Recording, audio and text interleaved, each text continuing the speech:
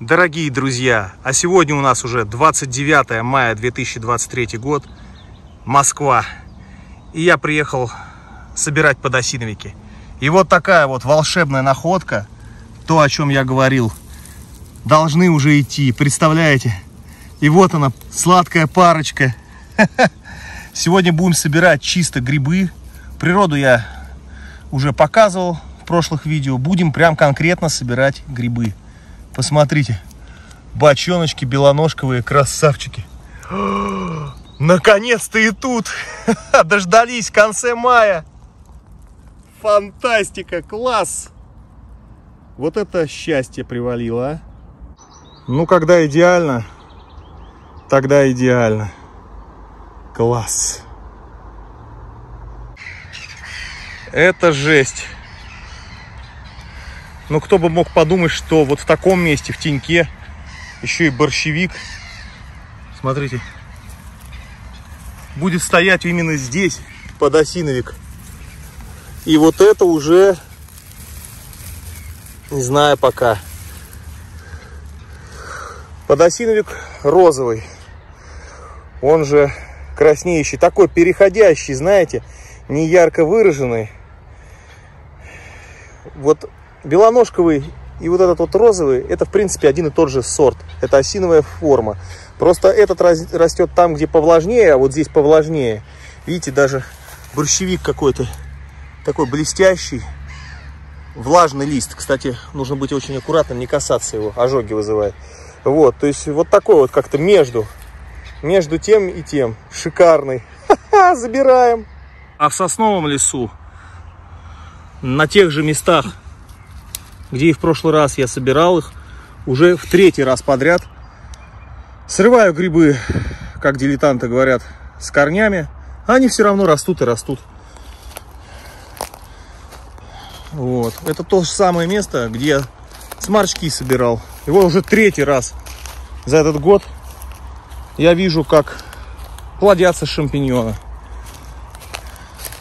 Может, все-таки потому, что у грибов нет корней? Где они? Где корни? Ну-ка.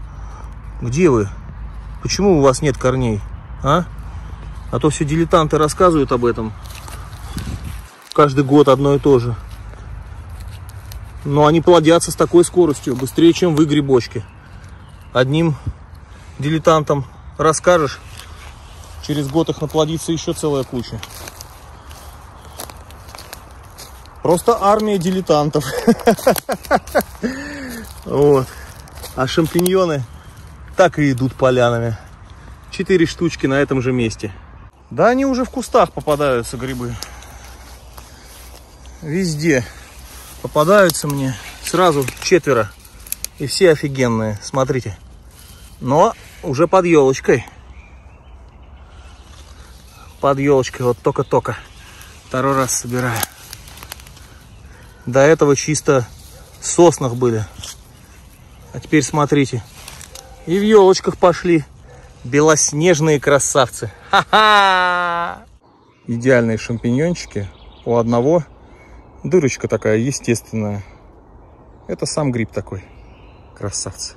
Ну и еще один шикарнейший грибочек. Тоже собирал здесь в прошлый раз. Ну вот еще попался шампиньончик под елочками. Еще один кругляш. А, с пленочкой еще. Молоденький красавец. Неправильно я сказал, не только один. Оказывается, смотрите, здесь вот такие кочки Оп. Что это? Вот такой целенький. Пожарить сочный будет, вкусный. Я вам гарантирую. Кто не ел, попробуйте. Очень вкусно. Кушать жареные шампиньоны, они офигенные. И этот собираю. И вот эти два собираю.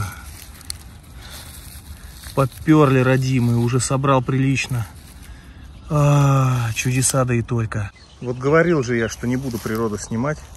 Но когда такое чудо от солнышка греется под борщевиком, как я могу не заснять? Смотрите на его глазки. Эй, привет! Ушки поджал, смотрит. Да я тебя не буду тревожить, все, сиди. Какие красивые люпины. Фантастика.